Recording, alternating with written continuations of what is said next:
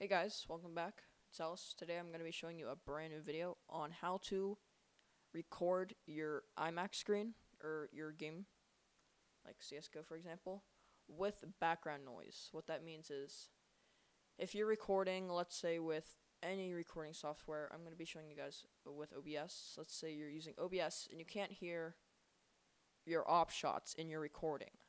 Well, it's because I don't know, physics, something like that. But this basically shows you how to bypass that and how to actually capture that. So what you want to do is open these two links and you want to click download. Select your operating system. I'm going to be showing you guys on Mac, but if you're on Windows, there's probably another tutorial for that. But it's probably different. So that's downloads. That should come up on your desktop. Then you want to open this link. Scroll down right here click that. Just uh, whoops. Just gonna rename that Soundflower and click down. All right. So you want to open OBS first because with Soundflower you need to restart your computer. So you just want to go through this process. Type in your administrator's password. It's all good. And it should install. Alright, successful. Close that, close that. Now you want to open your Soundflower one. We can delete this, just so we don't get confused. Double click that, continue, install. Whoops. Okay. You may not need to restart your computer. I'm pretty sure you do, but it can be wrong. We'll have to see.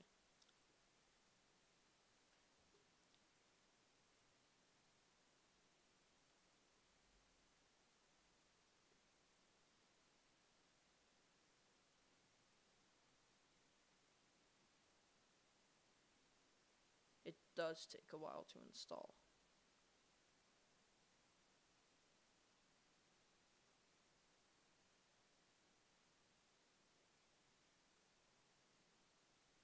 Alright, successful. So I can delete that as well. Empty the trash. Successful. So I can close these out. I can fully close Google Chrome. QuickTime Player is what I'm using to record. You can't hear any of the sound I have right now, but anyway. So you want to open audio, MIDI or MIDI setup. Um, this should be already installed on your computer. But when it opens up, I'm using a sound card. So if you're not, and let's say you just have your, I don't know, just let's say you want to, let's say you want to use your built-in output. Uh, I wouldn't or built-in microphone. Let's say you want to use that. So you want to come down here, click create aggregate device, and create multi-output device. So I'm just going to rename this input. I'm going to rename this output. So here you're going to see everything selected. Now, first you're going to select your microphone. So whether that's your built-in microphone or your USB device. I'm going to use this because that's the mic I'm using right now. Second, you're going to click Soundflower 2 channel. So it should come up something like this. Clock source should be that.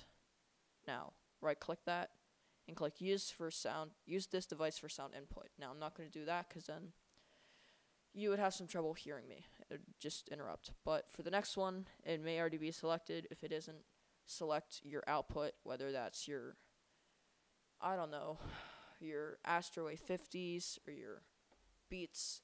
You want to check that box first. Then once again, you want to check the Soundflower 2. So then you're going to right click that and click play this device for sound output. Now, that should be all good. These icons, this would be in here, that would be down there. Also, you want to right click this one and click play alerts and sounds. That does not matter. So you want to close that. Then you want to open OBS. Whoops. Now this should be fairly simple. It's somewhat complex, but hopefully we won't have much trouble. I agree. Now there are some settings you might want to check in this, but for the most part, it's simple. Settings. First of all, just, yeah, go to your go to the dark theme. I think that's the best. Oops. Just makes it look nicer. Back into your settings. Go to audio. Now, either one I do not mat does not matter. Stereo.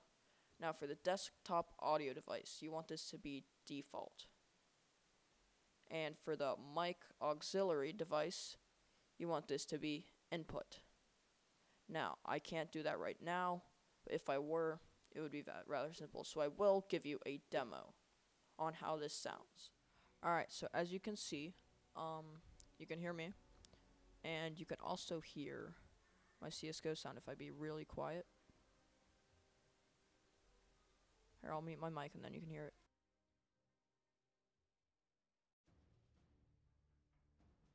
See, I have my uh, CSGO volume set very low, but honestly, I just turned it down a little recently. But if you were to turn it up, then you can hear it. So I have it running and stuff. So, yeah, um, I may have screwed something up with the microphone. For mic slash aux, you want the properties, you want it, your microphone. So either your built-in microphone or your USB audio device. And for the desktop audio, you want that to be default. So that'll get this. Um, I don't normally record with OBS, but I might start doing it. But yeah, anyways, I hope you guys enjoyed. And if it helped you, be sure to like and subscribe. But other than that, I'll see you guys in the next video. Peace.